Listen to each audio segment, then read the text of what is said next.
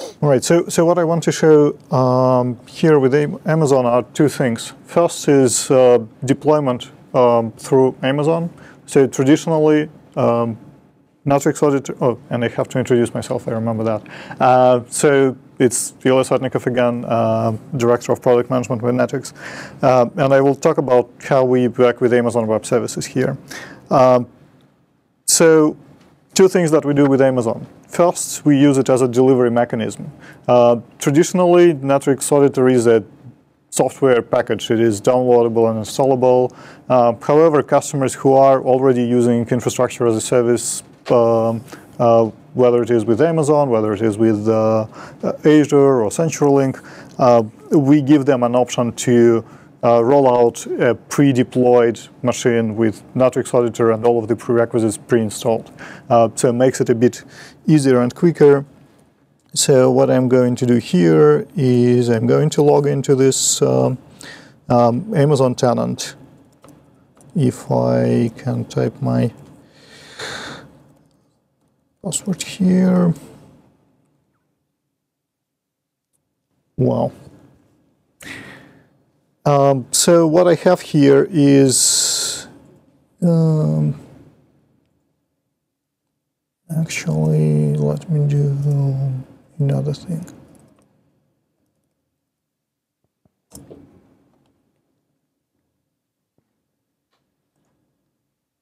So two things.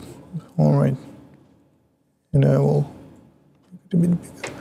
Um, so this is Marketplace, uh, and I'm already I should be logged in. All right, I am logged in. Um, so basically, if I search for Netwrix here, there are a bunch of options, but uh, basically uh, two different options. First is uh, bring your own license, and then second is uh, different tiers of uh, pay-as-you-go. Um, so it makes it a bit easier, makes it a bit simpler.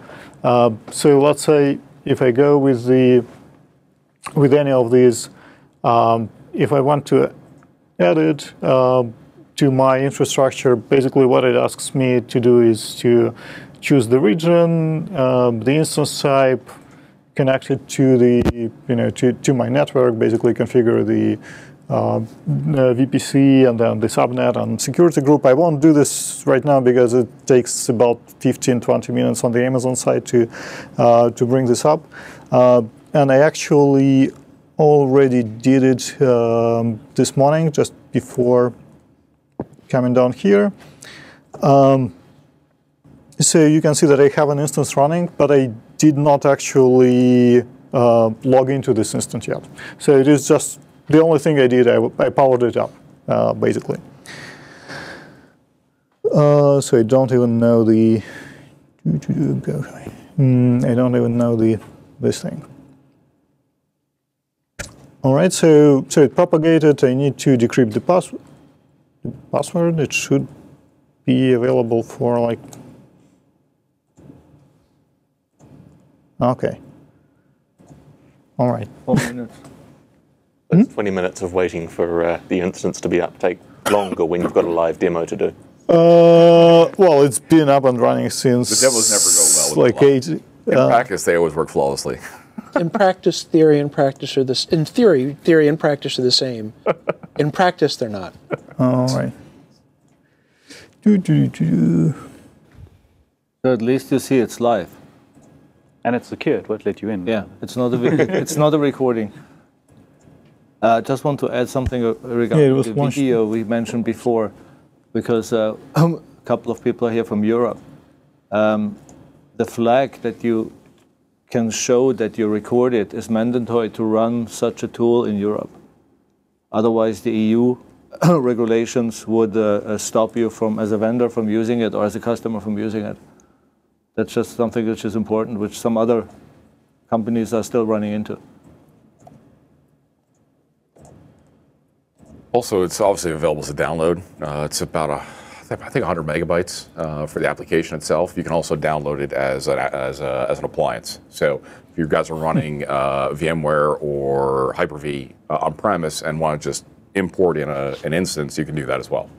um, as well as be able to obviously deploy it uh, in the cloud. So is that that on on premises appliance the same here? I thought it was uh, 2012 R2 with SQL Express installed.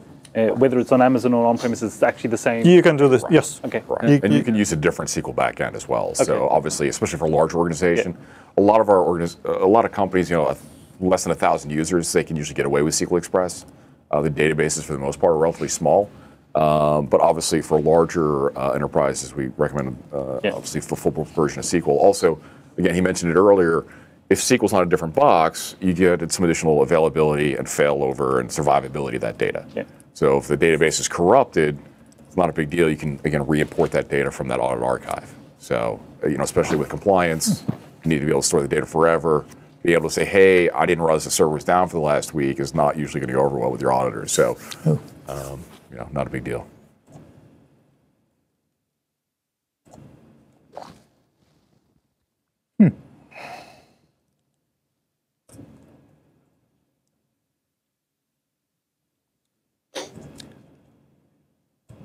So we have a session running. Hmm. All right.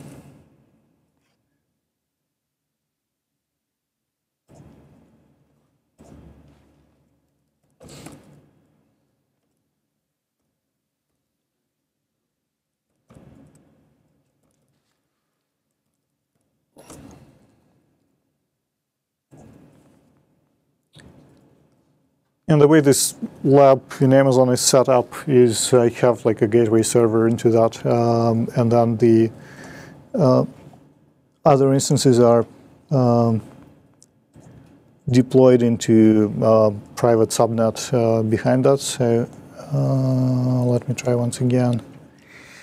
The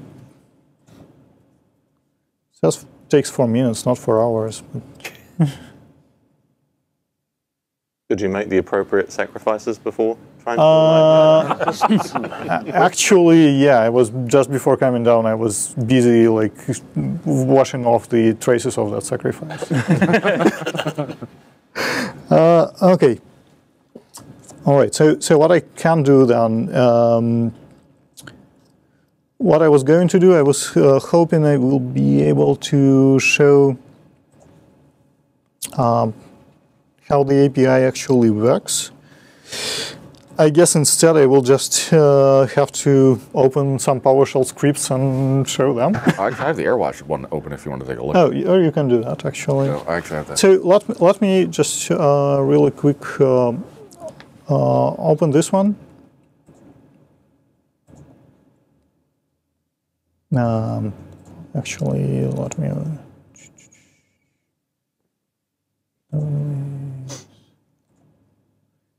Ah, all right.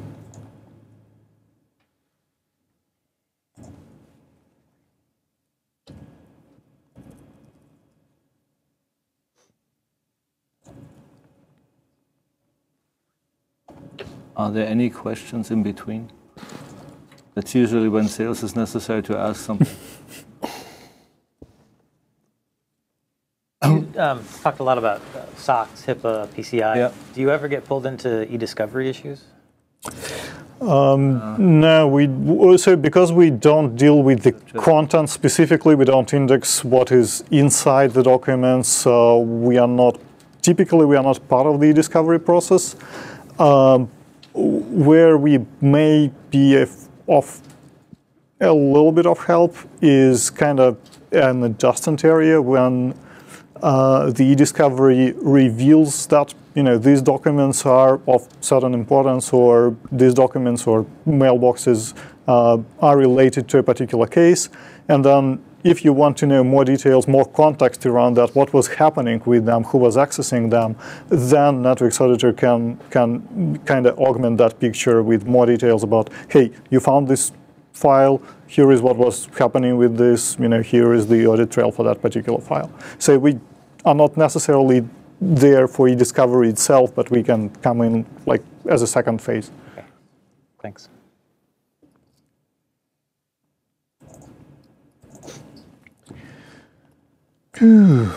and you can probably oops that's a bit too much. So um, uh, from from the API perspective, uh, since the machine is not running and probably we won't have time within 10 minutes to revive it anyways. Um, just really quickly, um, wanted to show this script here. It's um, it's pretty simple PowerShell example. Uh, what it does, it connects to uh, Amazon Web Services CloudTrail. Uh, it then processes only certain types of events because obviously there can be like huge numbers of different types of events with different details, different information. And so it, it, is an example, right? So it takes only uh, identity and access management events like account created, user account created, group created, group deleted, user deleted, um, access key pair created, deleted, um, user added to group, user removed from group, that kind of stuff. Uh, and so uh, showing this as an example, uh, we basically show how to transform the data and um, so these are parameters, nothing interesting here. Um, so you can see the supported events uh, like create group, delete group, etc. Um, and then everything else is sort of uh, processed in a default manner with uh, fewer details. And then what is important is uh, that once we collected that data, uh, if I scroll down just a little bit, right here, you can see that um, uh, we then translate that data that we collect from uh, whichever external services. Uh, we transform that into our uh, activity record uh, with the predefined fields so that when we collect this, uh, it shows up in the same search interface, it shows up in the same reports in the same context with the same predefined fields. So we have who, we have object type, action type, uh, what was the object that was modified, where it was uh, modified, uh, more context, uh, when, and then backstation from where the originating call came from. Um, so with that, we have a unified audit trail across multiple uh, systems and environments. Um, and Jeff, can you switch over to um, uh, to your stuff. So actually, and there's a PowerShell script down here as well if you want to play around with it. Okay. So you want to run this? Uh, yeah, so just to show you real quick, this is uh, this is the one for AirWatch. So we do uh, have a mechanism built in to be able to pull down data from AirWatch. So it's relatively easy. You crank this up, and in this case, I'm just going to run it manually. And it's going to go through, theoretically work. There you go, pulling 22 records. And now I can go in and through the search mechanism, I can just type in AirWatch, for example, and it's going to go through and it's going to bring up all of the uh, AirWatch records. Again, I apologize, this is super tiny, but uh, one of the other things too is I can just do Google, for example. So if I want to see what someone's actually searching, I can do that.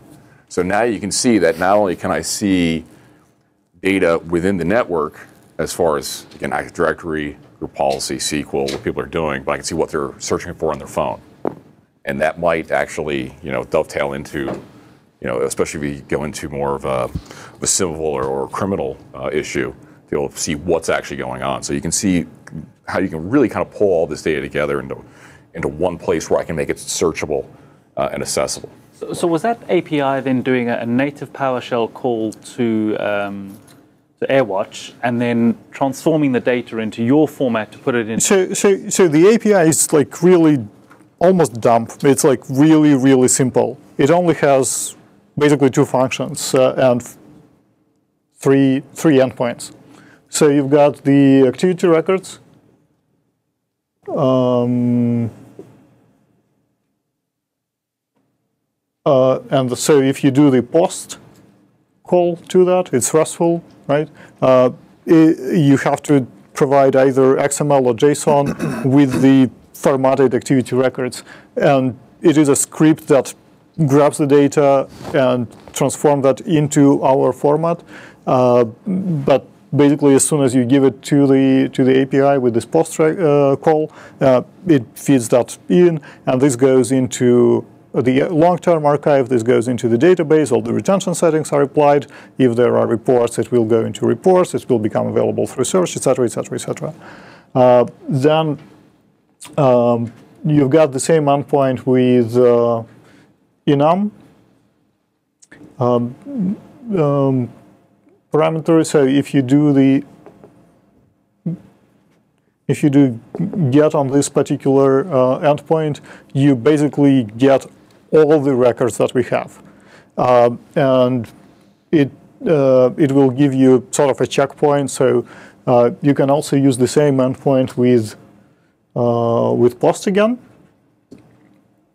uh, and give it like that checkpoint as a parameter, it will give you the next uh, page, basically, next like thousand events. So, so, that second bit is you can then write your own reports and grab anything that's yes. metrics. And then the, the first one, because you mm -hmm. used AirWatch as an example, uh, uh -huh. even though that's a VMware product, that's not the native VMware integration that you have.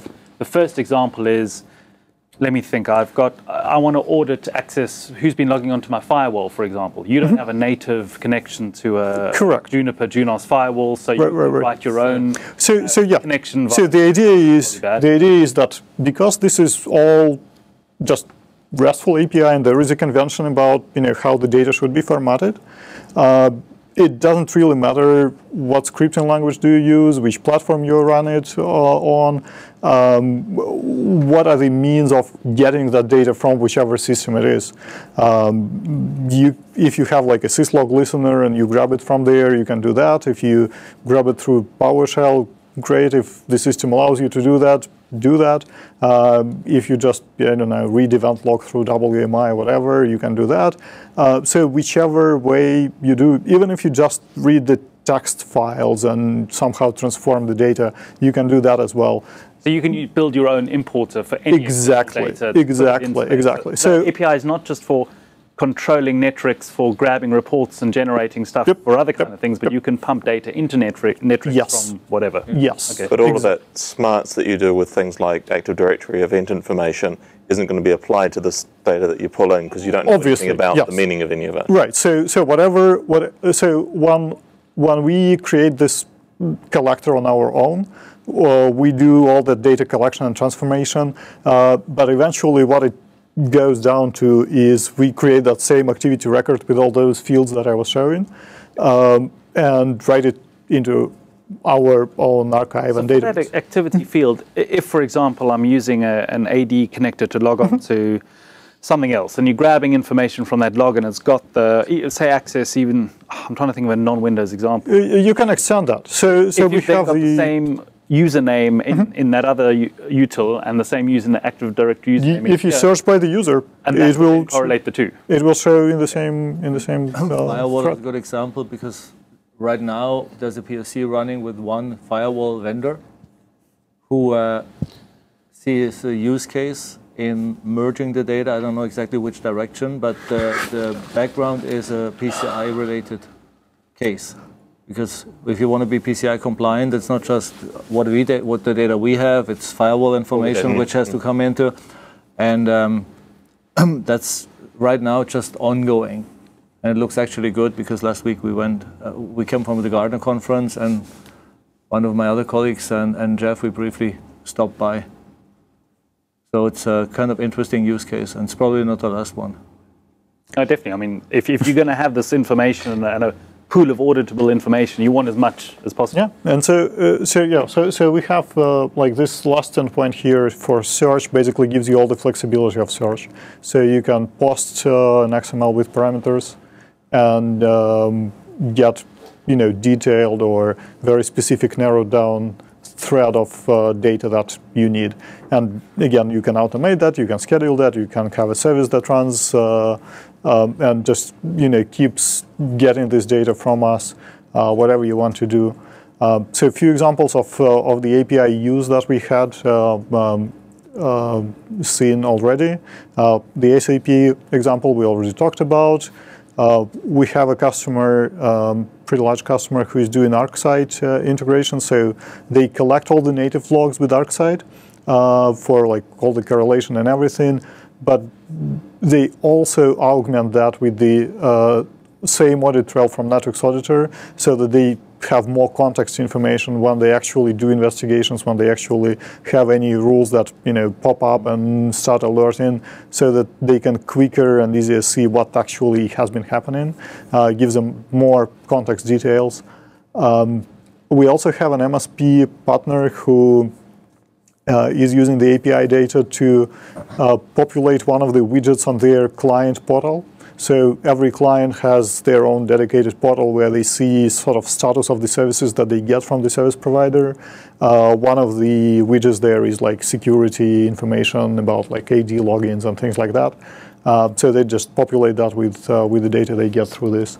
Um, so, so those are just few examples there, and like I said, this is very new for us, and we expect way more use cases coming up. But uh, uh, with that, I think uh, you know we we are more or less uh, out of time, so we probably have a few minutes for more questions if you have. So, do you have plans to extend the, the sort of more deep analytics that you do with the events through into the CloudTrail?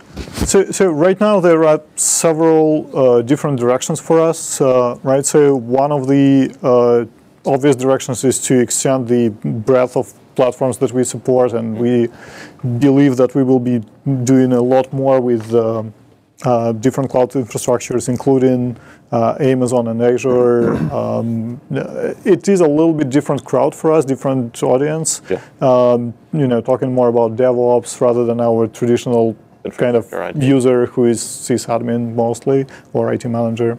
Uh, but we are definitely tapping into that.